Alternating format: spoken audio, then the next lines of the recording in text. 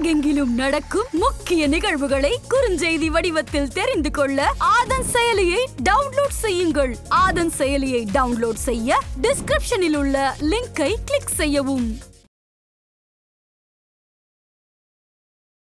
ரெண்டாயிரத்தி பதினாலில் வந்து பிரதமர் மோடி என்ற கேண்டிடேட் நடத்தும் போது அன்னைக்கெல்லாம் காங்கிரஸ்காரங்க என்ன பண்ணாங்கன்னா வந்து டீ ஆவாரி டீ வித்தவர் அப்படின்னு சொல்லி டீ விற்கக்கூடிய பாத்திரங்கள்லாம் எடுத்து மக்கள் மத்தியில் காட்டி அவரை பரியாசப்படுத்தி கேவலப்படுத்தி தனி மனித தாக்கல் தொடுத்தாங்க இப்ப இந்தியா கிட்ட சொந்தமா ஒரு ஏரோப்ளேன் கூட கிடையாது ஒரு ஃபிளைட் கூட கிடையாது. எல்லாமே வந்து தனியாருக்கு இத்தகைய இத்தகைய சூழ்நிலைக்கு காரணம் காங்கிரஸ். எல்ஐசி பங்குகள் கூட வித்தாச்சு. அதெல்லாம் யாருக்கு ஓகே தாங்க இத்தகைய சூழ்நிலைக்கு காரணம் காங்கிரஸ். காங்கிரஸ் அரசு திவாலாக்கப்பட்டு எல்லாமே கடன் சுமையில ஆக்கும் போது நீங்க என்ன பண்ணுவீங்க?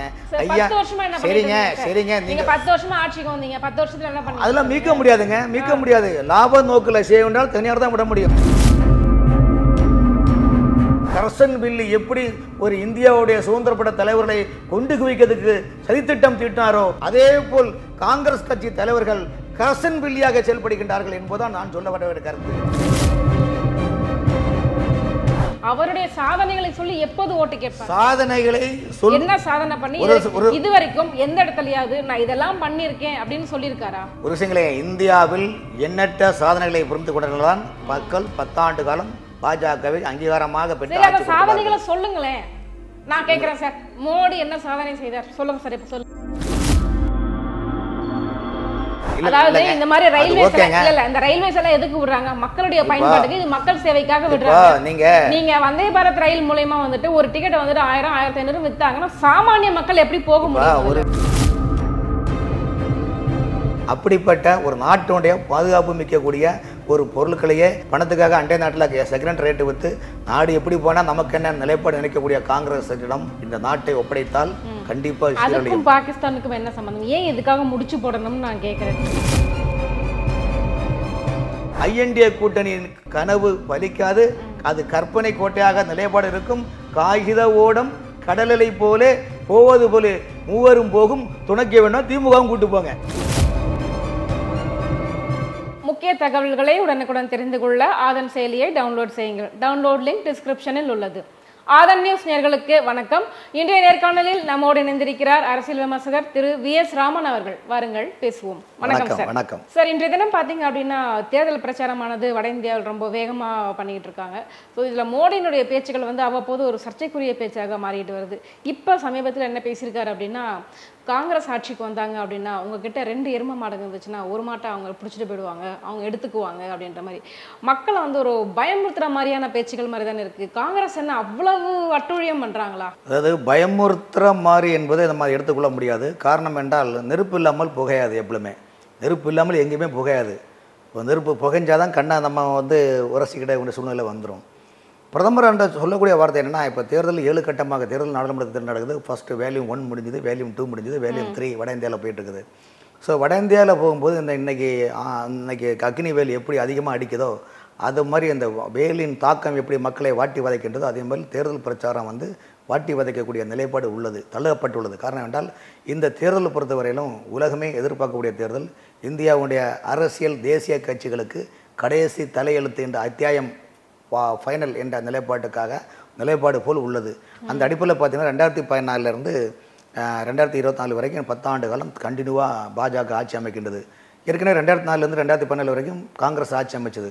ஸோ அந்த காங்கிரஸ் ஆட்சியினுடைய நிலைப்பாட்டில் வந்து ரெண்டாயிரத்தி பதினாலில் வந்து பிரதமர் மோடி என்ற கேண்டிடேட் நடத்தும் போது அன்னைக்கெல்லாம் காங்கிரஸ்காரங்க என்ன பண்ணாங்கன்னா வந்து டீ வியாபாரி டீ வித்தவர் அப்படின்னு சொல்லி டீ விற்கக்கூடிய பாத்திரங்கள்லாம் எடுத்து மக்கள் மத்தியில் காட்டி அவரை பரியாசப்படுத்தி கேவலப்படுத்தி அவ்வளவு தனி மனித தாக்கல் தொடுத்தாங்க. ஆனால் அந்த விடை தேர்தல் நட ரெண்டாயிரத்தி பதினாலு தேர்தல் விடை என்ன ஆகி போச்சுன்னா நானூறு சீட்டாக இருந்த காங்கிரஸ் மரண பாஸ்னுடைய டவுன் ஆகின மாதிரி நாற்பதே நாற்பது சீட்டு தான் அவங்க வாங்கினாங்க. இதை நான் சொல்ல பிரதமரே அதை மேற்கோள் காட்டுறாங்க. ஸோ காங்கிரஸை பொறுத்த வரைக்கும் இன்னைக்கு வந்து பிஜேபியை வந்து வள எதுவுமே சொல்லுது அவங்க பண்ண முடியாமல் ஸ்ட்ரைட்டாக அதாவது பரீட்சையில் வந்து எப்படி கைடு எப்படி முக்கியமோ இப்போ அவசர உணவுக்கு நம்ம வந்து சாப்பாடு சாம்பார் பண்ணால் டக்குனு ஃபாஸ்ட் ஃபுட்டு மாதிரி சாப்பிட்டு போகிறோம் இல்லை அட்கட்டி அட் அட்லைன் அட்லட ஒரு லெமன் ரைஸு சாம்பார் சாதம் உடனடியாக பசியை போக்கணும் போட்டு சாப்பிட்ற மாதிரி காங்கிரஸ் என்ன நினச்சிட்டேன்னா ஃபாஸ்ட் ஃபுட் ரேஞ்சில் அவங்க அரசியல் பண்ணிக்கிறாங்க. என்னென்னா தமிழா இந்தியாவில் உள்ள மக்களை ஒவ்வொரு மாநிலத்திலையும் மொழி பிரச் மொழி வாரியாக மத வாரியாக ஜாதி ரீதியாக கலாச்சாரம் பண்பாடு ஒவ்வொரு மாநிலத்துக்கு மேலே வித்தியாசம் இருக்குது.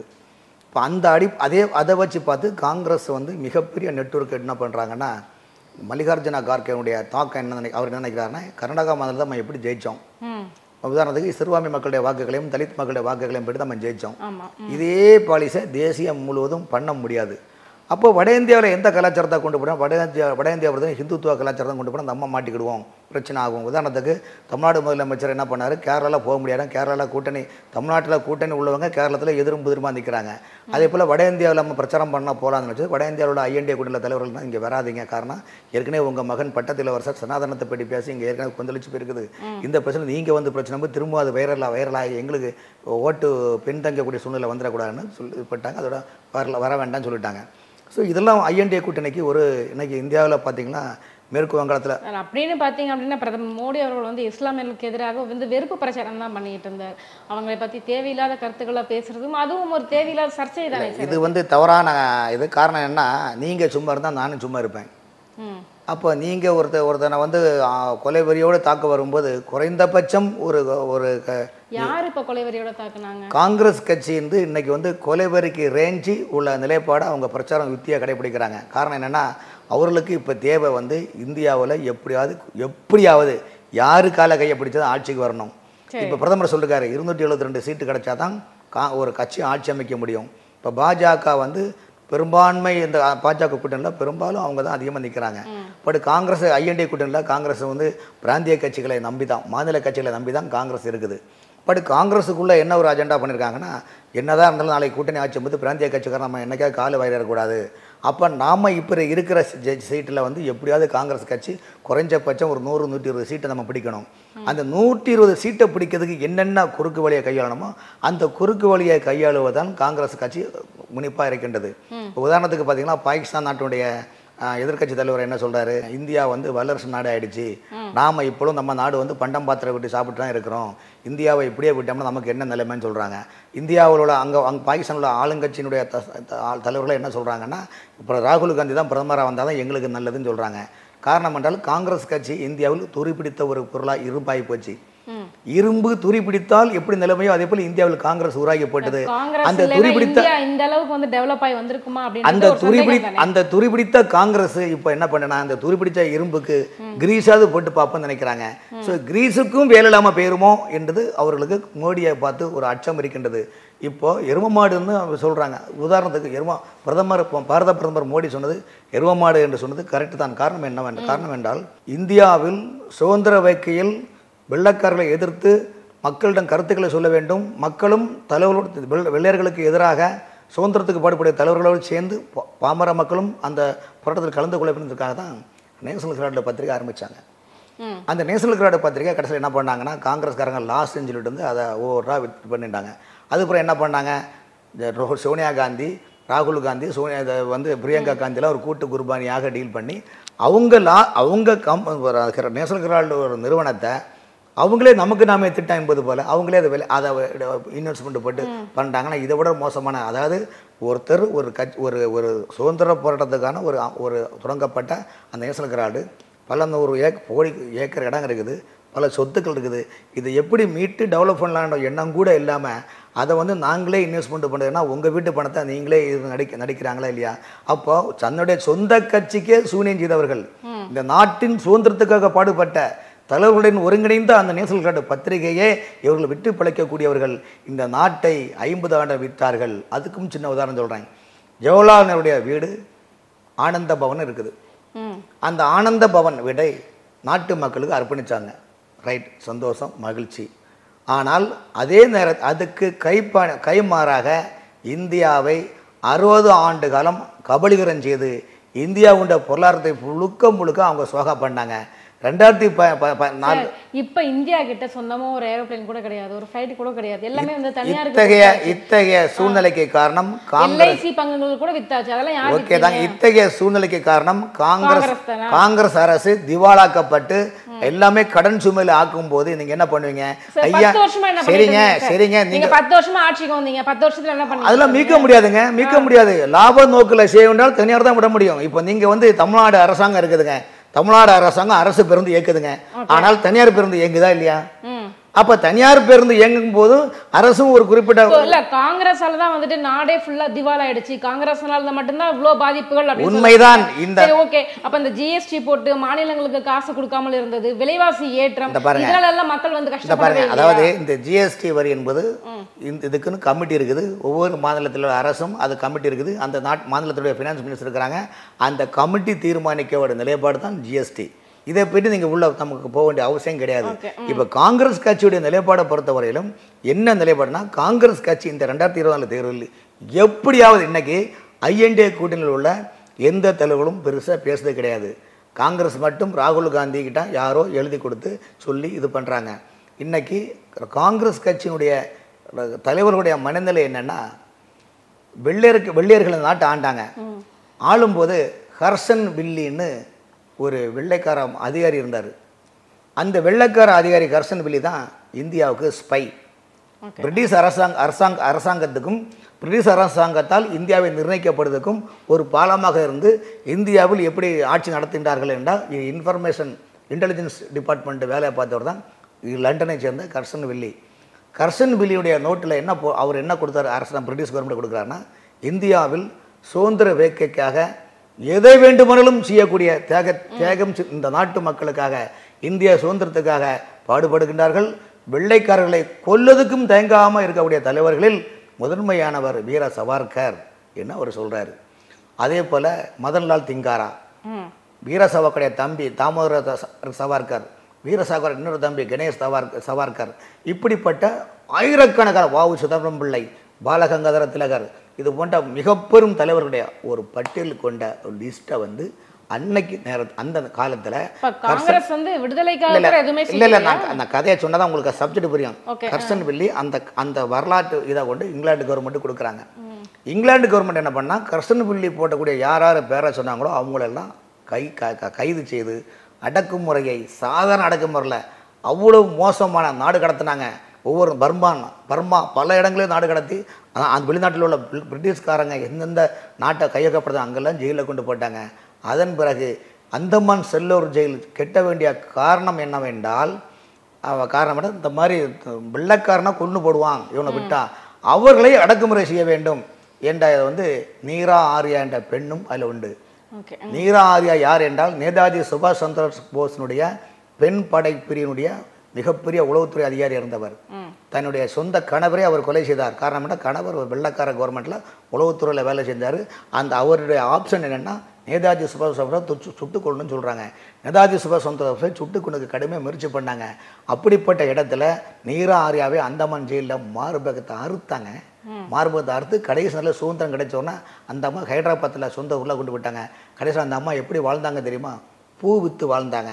அதில் அரசாங்கம் மண்ணு வீடு கட்டி வந்த அது வீடை கூட அரசாங்கம் ரோட அகலப்படுத்தி இடித்து கடைசி வரைக்கும் அந்த அம்மாவுடைய வாழ்க்கையை மர்ணிக்கப்பட்டதுங்க நினச்சி பாருங்கள் இந்த நாட்டுக்கு சுதந்திரத்துக்கு பாடுபட்ட நீராதியோடைய வரலாறு நேதாஜி செண்பகராமன் பண்ண மிக பெரும் தலைவருடைய வரலாற்றை உதயகுலில் தள்ளிவிட்டு நே நே- வெள்ளக்கார கவர்மெண்ட்டுக்கிட்டையும் மகாத்மா காந்தியையும் நேதாஜியும் கையில் வைத்துக்கொண்டு அழகா ஒரு அன்கோ போட்டு ஜவஹர்லால் நேரு பிரதமர் ஆக வேண்டும் என்ற நிலைப்பாடு வந்தது. அந்த காலகட்டத்தில் நாட்டின் சுதந்திரம் பெற்று விட்டோம். நமக்கு ஒரு நல்ல ஆட்சி தேவை என்று வந்தது. அதுவும் பிறகுதான் கல்வியில மிகப்பெரிய இஸ்லாமிய மார்க்கத்தையும் இஸ்லாமிய தர்ம நெறிகளையும் கல்வித்துறையில் புகுத்தினால்தான் மிகப்பெரிய பிரச்சனை உருவாகினது. அதுல இருந்து வந்து காலங்கள். அப்படி கிடையாது. இல்ல இல்ல. அதுக்கு சொல்றேன். இல்ல இல்ல நான் சொல்ல இல்ல. நான் வந்து சொல்லுறது எதுக்கு சொன்னா அந்த வெள்ளைக்கார அரசாங்கத்தில் இருந்த கரசன் பில்லி எப்படி ஒரு இந்தியாவுடைய சுதந்திரப்பட தலைவர்களை கொண்டு குவிக்கிறதுக்கு சதித்திட்டம் தீட்டினாரோ அதே போல் காங்கிரஸ் கட்சி தலைவர்கள் கரசன் பில்லியாக செயல்படுகின்றார்கள் என்பதுதான் நான் சொல்ல வர வேண்டிய கருத்து. ஆகவே மக்கள் புரிந்து கொள்ள வேண்டும் அறிந்து கொள்ள வேண்டும். இந்த தேசத்தை ஐம்பது நாளும் நாசம் செய்த காங்கிரசிடம் இந்த நாட்டை கொடுக்க கூடாது என்பதற்கு தான் பிரதமர் மோடி அல்லும் பயலும் அயராது உழைத்து பசி நோக்கார். கண் தூஞ்சார் கர்மமே கணர் என்று நீதி நூலில் சொன்னது போல் பிரதமர் சொல்லுகின்றார் என்றால் இது கூட சொல்லாவிட்டால் காங்கிரஸ் கட்சி இந்த நாட்டை முழுங்கி விடும் என்பதற்காக தான் அவர் கோடிட்டு காட்டுகிறார். தவிர்த்து அதற்காக சொன்னேன் கர்சன் வில்லி என்ற கதையை கொண்டு வந்த காரணம் இந்தியாவின் சுதந்திரக்கு வேட்கைக்க பாடுபட்ட தலைவர்கள்லாம் எப்படி நாசம் செய்தாரோ அதுக்கு துணையாக இருந்த கர்சன் வெள்ளி மனநிலை எப்படி உள்ளதோ அதே போல் இந்த கர்சன் வெள்ளியுடைய மனநிலை தான் காங்கிரஸ் கட்சியின் தலைவடம் உள்ளது. இந்த நிலைமை இந்த நாட்டிற்கு வந்தால் பெரும்பான்மை மக்களுடைய வாழ்க்கை சைபராகி விடும் என்பதற்காக தான் யானை வரும் பின்னே மணி ஓசை வரும் முன்னே என்று மணியடித்து நாளை நடக்கக்கூடிய நிகழ்ச்சியை இன்று முன்கூட்டி காட்டுகின்றார் மக்களிடம். இது என்ன ஐயா தவறு? விஷயம் பார்க்கணும். பிரதமர் சொல்லி என்ன தவறு உள்ளது சொல்லுங்கள். ஐம்பது வருஷமா வந்துட்டு ஓகே ஐம்பது ஆண்டு காலமா காங்கிரஸ் வந்து நாட்டை சீரழித்தது ஓகே நீங்க சொல்ற பாயிண்ட் கூட ஒரு பக்கம் ஒத்துக்கிறேன். பத்து வருஷமா மோடி ஆட்சி செஞ்சுட்டு இருக்கார் ஒவ்வொரு மாநிலத்துக்கும் பிரச்சாரத்துக்கு போறார். ஆனா ஒவ்வொரு மாநிலத்துக்கும் பிரச்சாரத்துக்கு போகும்போதும் என்ன பேசிட்டு இருக்கார் காங்கிரஸ் அதை பண்ணாங்க நேரு அதை பண்ணாங்க நேரு இதை செஞ்சாங்க இதைத்தானே பேசிட்டு இருக்கார் அவருடைய சாதனைகளை சொல்லி எப்போது ஓட்டு கேட்பார்? சாதனைகளை என்ன சாதனை பண்ணி இது- வரைக்கும் எந்த இடத்துலயாவது நான் இதெல்லாம் பண்ணியிருக்கேன் அப்படின்னு சொல்லியிருக்காரா? ஒரு விஷயங்களே இந்தியாவில் எண்ணற்ற சாதனைகளை புரிந்து கொண்டதான் மக்கள் பத்தாண்டு காலம் பாஜகவை அங்கீகாரமாக பெற்று சாதனைகளை சொல்லுங்களேன். நான் கேக்குறேன் சார். மோடி என்ன சாதனை செய்தார்? சொல்லுங்க சார் இப்ப சொல்லுங்க மோடி விமான தளங்களை எவ்வளவு அமைச்சிருக்காரு? சரி. விமான பேருந்து எவ்வளவு நெடுஞ்சாலைகள் என்ன பண்ணிருக்காரு?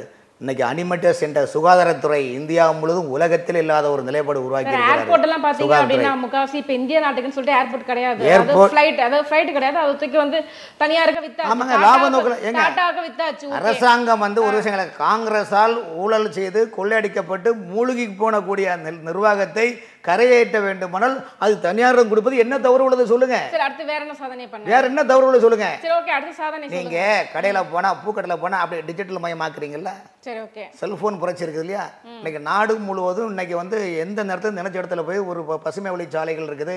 அப்புறம் வந்தே பாரத ரயில் திட்டங்கள் இருக்குது ரயில்வே விரிவாக்கங்கள் இருக்குது கல்வி கல்வி திட்டங்கள் இருக்குது வளர்ச்சி திட்டங்கள் பிரதமர் மக்களும் ஏழை மக்களும் போக முடியும்னு நினைக்கிறீங்களா? அது டிக்கெட் எவ்வளவு தெரியும்ல? இப்போ நீங்க இருக்கிறீங்க இல்ல அதாவது. இந்த மாதிரி ஓகேங்க இல்ல இந்த ரயில்வேஸ் எல்லாம் எதுக்கு விடுறாங்க? மக்களுடைய பயன்பாட்டுக்கு இது மக்கள் சேவைக்காக விடுறாங்க. நீங்க நீங்க வந்தே பாரத் ரயில் மூலயமா வந்துட்டு ஒரு டிக்கெட் வந்துட்டு ஆயிரம் ஆயிரத்தி ஐநூறு வித்தாங்கன்னா சாமானிய மக்கள் எப்படி போக முடியும் ஒரு விஷயம் கேளுங்க. நீங்க சொல்றது எப்படின்னா நான் பஸ்ல போக மாட்டேன் நான் ஃப்ளைட்டில் தான் போறேங்கிற மாதிரி இருக்குது. சொல்லுங்க. ஐயா நீங்க இங்கிருந்து திருவனந்தபுரம் போறீங்க? சென்னையிலேருந்து திருவனந்தபுரம் போறீங்க. பஸ்லேயும் போகலாம் ட்ரெயின்லேயும் போகலாம் ஃப்ளைட்லேயும் போகலாம் இந்த மூணும் போகக்கூடியவங்களே வசதி வாய்ப்புகளை பொறுத்து தான் இருக்குது. அதுக்கும் கவர்மெண்ட்டுக்கு என்ன சம்மந்தம் இருக்குது சொல்லுங்க? சொல்லுங்க. அதுக்கும் கவர்மெண்ட் என்ன சம்மந்தம்? இப்போ நீங்கள் ஹோட்டலில் போறீங்க உங்கள்கிட்ட நூறுரூவா தான் இருக்குது. அந்த நூறுரூவாய் தந்த மாதிரி பண்ண இல்லை லெமன் ரைஸ் சாப்பிடலாம். இல்லை ஒரு பிரியாணி சாப்பிடலாம். அப்போ பணம் உள்ளவங்க எது வேணாலும் சாப்பிடலாம். பணம் இல்லாதவங்க அந்த பட்ஜெட் தான் பண்ண முடியும். இன்னைக்கு தமிழ்நாட்டில் வந்து பார்த்தீங்கன்னா எட்டு கோடி மக்கள் இருக்கிறாங்க. எட்டு கோடி மக்களும் வசதியில் இருக்கிறாங்களா இல்லை? ஆனால் என்ன ஆட்சி நடக்குது? ஒரு குடும்பம் வாழ்வதற்கான ஆட்சி நடக்குது. ஒரே ஒரு குடும்பம் அந்த குடும்பத்தில் உள்ளவங்க சக குடும்பத்தை சமர்ப்ப யாமி சுக்லாம்பிரதம் சசிபண்ணம் சமர்ப்பிச்சு நல்லா சேமிச்சுக்கிடுங்க என்ற நிலைப்பாடு தான் நடிக்கிறதே தவிர்த்து எட்டு கோடி மக்களும் தேனாரிலும் பலரும் வாழ்கின்றாரா இல்லையே? இன்னைக்கு ஒரு ஏசி இன்னைக்கு சென்னையில் அடிக்கிற கா இன்னைக்கு இன்னைக்கு இவ்வளோ வெயில் அடிக்குது. காரணம் என்ன? சென்னையில் வந்து மழைநீர் கால்வாய் கட்டுன்னு சொல்லிட்டு மொத்த மரத்தையும் வெட்டி சாச்சாச்சு இப்போ நீ அதுக்கான திட்டங்கள் என்ன வழிவந்தீங்களா இல்லை. தமிழ்நாட்டில் உள்ள பனைமரங்கள் தென் மாவட்டத்தில் உள்ள பனம் பனைமரம் அப்போ எப்படி? தென் பனைமரம் தான் ஏரிகளையும் குளங்களையும் கரைகளில் அதை நட்டுவிட்டால் பனைமரம் வந்து நிலத்தடி நீரை பாதுகாக்கும் கரை உடையாது. இன்றைக்கி தென் மாவட்டத்தில் பார்த்தீங்கன்னா எல்லா இதுவும் வருவாய்த்துறை அதிகாரிகளுக்கு கூட்டணி வச்சு மொத்த மரத்தையும் வெட்டி சாச்சாச்சு பனை மரத்தை. நீங்கள் நடவடிக்கை எடுத்தீங்களா? சொல்லுங்கள் விவசாயம் குழி தோண்டி மூடியாச்சு. முழுக்க முழுக்க ரியல் எஸ்டேட் ஆச்சு இன்றைக்கி வானம் பார்த்த பூமி கூட கிடக்கிடப்பு இல்லைங்க. அங்கேயே நீங்கள் ரியல் எஸ்டேட் பண்ணுறீங்க அப்போ நீங்கள் மக்களுடைய வாழ்வாதாரத்தில் என்ன நீங்கள் செய்ய போகிறீங்க ஒன்றுமே இல்லை. ஆனால் மத்திய அரசு பத்தாண்டு காலம் சாதனைகள் வீடு இல்லாதவர்களுக்கு வீடு. காங்கிரஸ் கட்சி அறுபது ஆண்டுகளில் மூணு கோடி பேர் தான் குடிநீர் இணைப்பு கொடுத்துருக்காங்க. ஆனால் பாஜக பத்து ஆண்டுகளில் பதினாலு கோடி மக்களுக்கு குடிநீர் இணைப்பு கொடுத்துருக்காங்க. நிறைய வீட்டு திட்டங்கள் பாருங்க. வீட்டு திட்டங்கள் இன்னைக்கு எங்க பார்த்தாலும் பிரதமர் இல்லத்தினுடைய திட்டம் வீட்டு திட்டம் இன்சூரன்ஸ் திட்டங்கள் மெடிக்கல் கேம்ப் தனி மனித கழிப்பறை. வீடு கட்டும் திட்டங்களுக்கு வந்துட்டு மத்திய அரசு மாநில அரசு ரெண்டுமே சேர்ந்து தான் சார் பணம் கொடுக்குறாங்க. அதாவது- மத்திய அரசு மட்டுமே பணம் கொடுக்கறது இல்லையே. சார் அவங்க கொடுக்கக்கூடிய ஒரு லட்சமோ எண்பதாயிரமோ அதை வச்சு ஒரு வீட்டை கட்ட முடியுமா சார்? நீங்க நினைக்கிற மாதிரி இந்தியாவில் நூற்றி நாற்பத்தி ரெண்டு கோடி மக்கள் இருக்கிறாங்க. நூற்றி நாற்பத்தி ரெண்டு கோடி மக்களுக்கும் நூற்றி நாற்பத்தி ரெண்டு கோடி விதமான சிந்தனைகள். சைக்கிளில் போகணும் போகிறவங்க பைக்கில் போகணும்னு நினைக்கிறாங்க. பைக்கில் போகிறவங்க காரில் போகணும்னு நினைக்கிறாங்க. காரில் போனவங்க விமானத்தில் போகிறவங்க நினைக்கிறாங்க. ஸோ எல்லாருக்கும் எல்லா விதமான நிலைப்பாடு இருக்குது. ஆனால் அவர் அவர்கள் செய்யக்கூடிய தொழிலும் சூழ்நிலையும் தான் ஒரு காரணம்.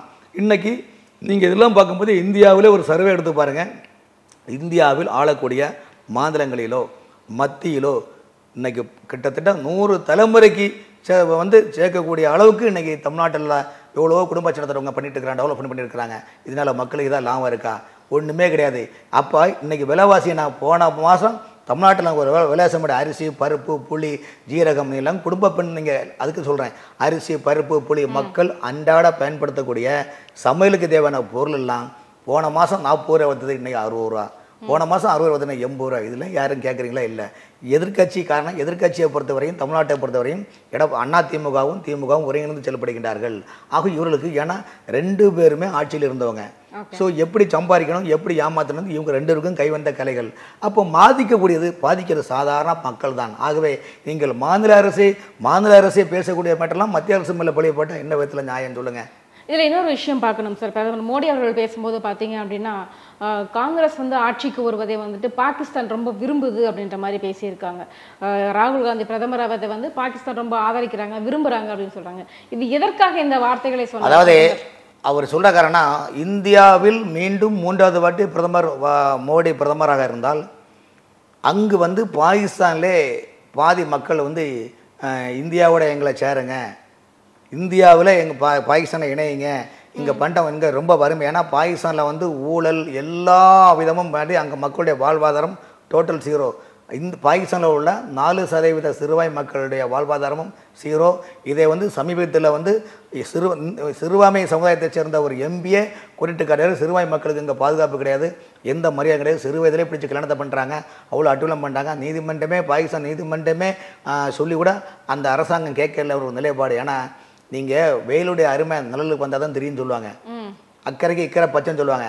ஸோ பாகிஸ்தான் மக்களுடைய மனநிலை மட்டுமல்ல இலங்கையில் உள்ள மக்களே என்ன நினைக்கிறாங்கன்னா எங்களை இந்தியா அண்டர்டேக்கிங் பண்ணிட்டாங்களா எதுவும் மூன்று வேளைக்கு சாப்பாடா எங்களுக்கு கிடைக்கும் ஐயான்னு நினைக்கிறாங்க. ஆகவே உலக நாடுகள் புரிஞ்சிடுங்க அவங்க என்ன சொல்கிறாங்கன்னா பாகிஸ்தானுக்கு இப்போ என்னென்னா இந்தியா உல மீண்டும் இந்தியாவில் மூன்றாவது முறை பிரதமர் மோடி ஆனால் இந்தியா வல்லரசு ஆகிவிடும். மூன்றாவது லிஸ்ட்டில் வந்து ஜிடிபி ஜிடிபியில் மூணாவது வந்துடுவாங்க வல்லரசு ஆகிவிடும். நம்மளை மதிக்க மாட்டாங்க. இப்படியே நம்மளை மதிக்க மாட்டாங்க.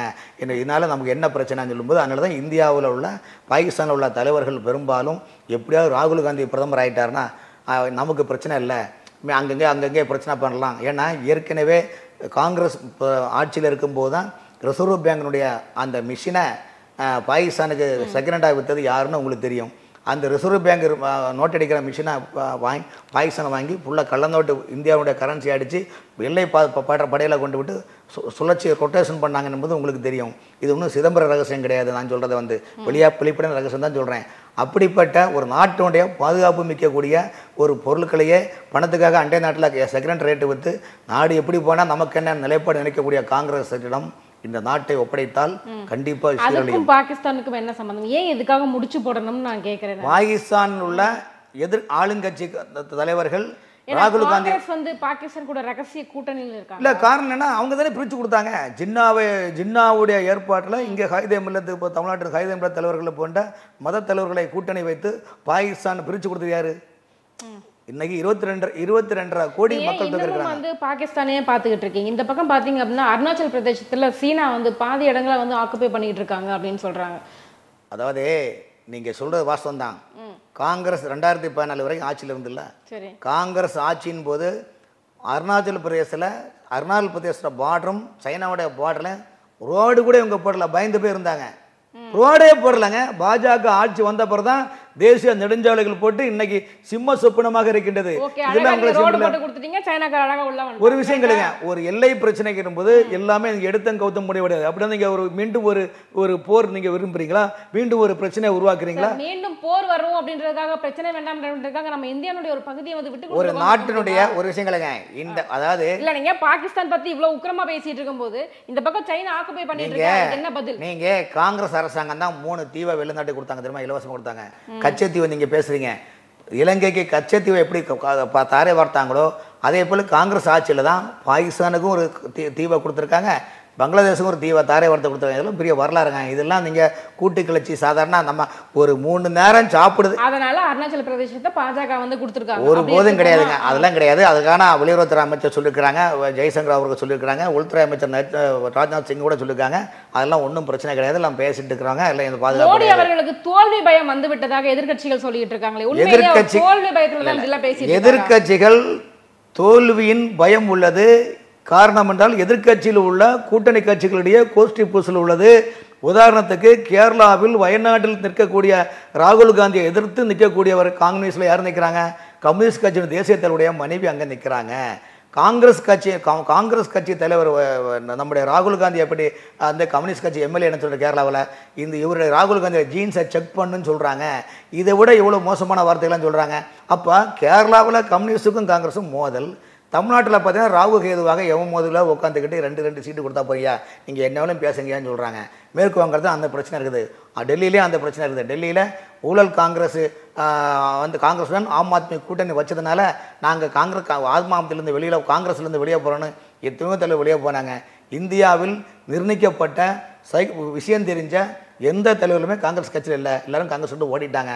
இப்போ காங்கிரஸ் கட்சியில் இருக்கிற உள்கட்சி பிரச்சனை காங்கிரஸ் கட்சி கூட்டணியில் உள்ள பிளவுகள் இதெல்லாம் திசை திருப்ப வேண்டுமானால் மோடியை அட்டாக் பண்ண வேண்டும் பிஜேபி அட்டாக் பண்ண வேண்டும். அதற்காக தான் ரா- கார்கே போன்ற தலைவர்கள் ராகுலிடம் எழுதி கொடுத்து நீங்கள் இதை பேசுங்க நீங்கள் இதை பேசுங்க நீங்கள் இதை பேசுங்கன்னு சொல்லி எப்படின்னா அந்த கருணாஸ் ஒரு படத்தில் வருவார். நாலு பேர் சேர்ந்து உட்காந்து டீ சாப்பிட்டு இருப்பாங்க.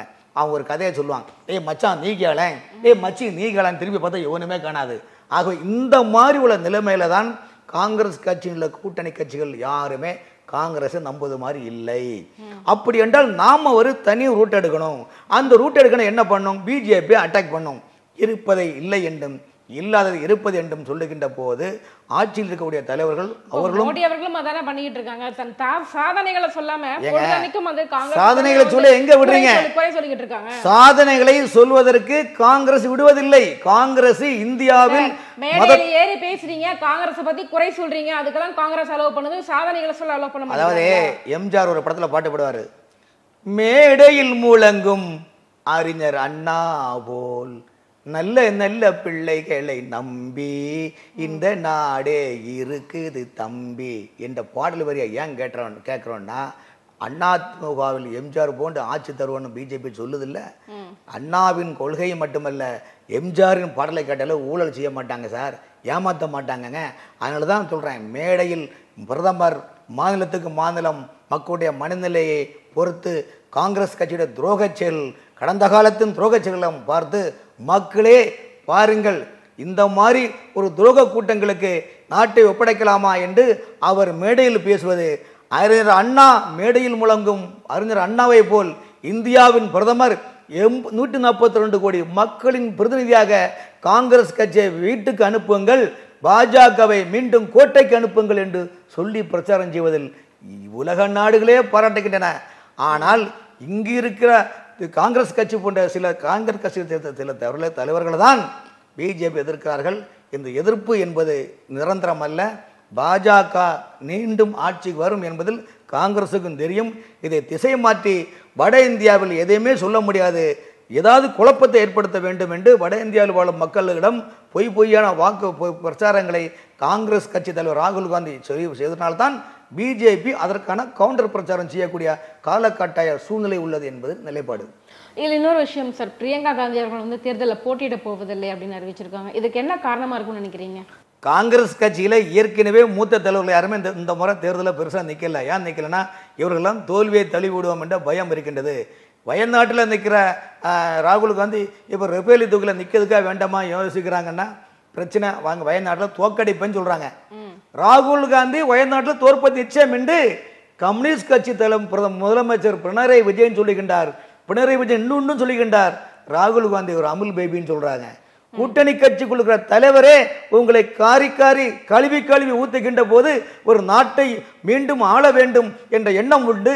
நீ கொண்டு நாட்டை வல்லமை நோக்கி செல்ல வேண்டும் என்ற எண்ணம் கொண்ட பிரதமர் காங்கிரஸ் கட்சியுடைய களவுத்தனத்தை மக்களிடம் வெளிச்சம் போட்டு காட்டுகிறார்.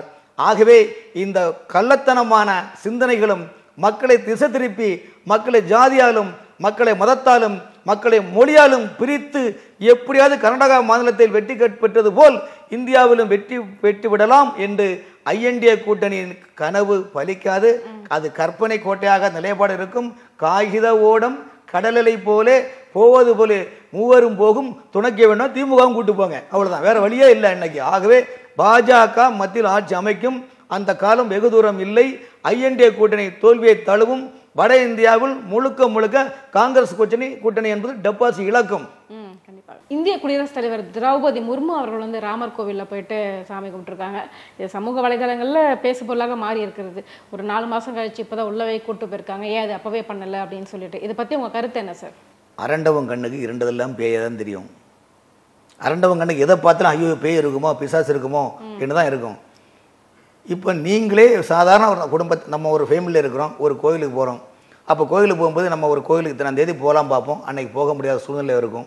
அப்போ அதுக்கான கால நேரங்கள் அதுக்கான திட்ட வழிவகு திட்ட வகுப்பு இதுதான் காரணமாக போகிறோம் சாதாரண ஒரு குடும்ப ஃபேமிலியோட ஒரு கோயிலுக்கு திருச்செந்தூர் போகிறோம் திருத்தணி போகிறோம் இல்லை ராகவேந்திர கோயிலுக்கு போகிறோம் ஏதோ ஒரு கோயிலுக்கு போகும்போது நேரம் காலங்கள் ஒதுக்கி நம்ம போகிறோம் அதே போல் வந்து இன்னைக்கு வந்து குடியரசுத் தலைவர் வந்து ராமர் கோயிலில் வந்து நேராக வந்து கருவூர்லேயே வந்து தரிசனம் பண்ணியிருக்காங்க இது ஒரு பெரிய விஷயங்கள். காரணம் என்ன ஆஹ், மேல்மருவத்தூர் ஆதிபராசத்தின்னு கோயில் உங்களுக்கு வேலைக்கு விட்டுருப்பீங்க.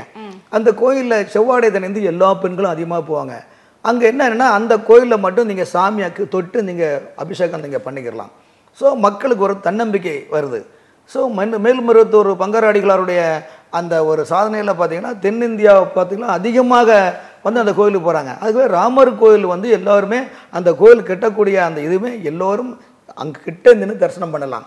அந்த அடிப்படையில் வந்து இன்னைக்கு குடியரசுத் தலைவர் திரௌபதி முர்மு அவர்கள் அவங்க சென்று தரிசனம் பண்ணியிருக்கிறாங்க. இது வந்து ஆன்மீகத்துக்கு காரணம் என்றால் என்ன பண்ணுவோன்னா ஒரு கோயிலுக்கு இருக்கலாம். இப்போ திருப்பதியில் போகிறாங்கன்னா ஒரு கவர்னர் போகிறாங்கன்னா பேப்பரில் வருது. ஒரு முதலமைச்சர் போகிறாங்கன்னா அது பேப்பரில் வருது.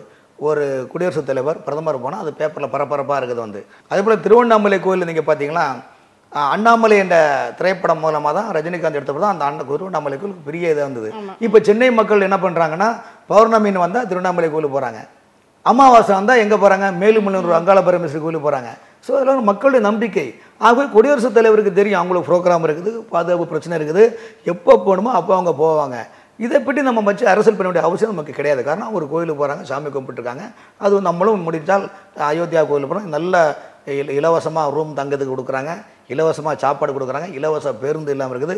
எந்த செலவுமே நீங்கள் கிடையாது. ஒன்லி ட்ரெயினில் அதுலேயும் கூட தென்னக ரயில்வே துறை கூட அதுக்கு ஃப்ரீயாக கூட ஏதோ ஏற்பாடு பண்ணிட்டு இருக்கிறாங்க. ஆகவே அயோத்தியா செல்வோம். ராமரை தரிசிப்போம். நாட்டில் ராமராஜ்யம் அமைப்போம் என்பதை குடியரசுத் தலைவர் மறைமுகமாக சொல்லுகின்றார் என்பது குறிப்பிடத்தக்கது. ஓகே சார் எங்கள் கேள்விகளுக்கு ரொம்ப சிறப்பான பதில் சொன்னீங்க சார் நன்றி. வணக்கம்.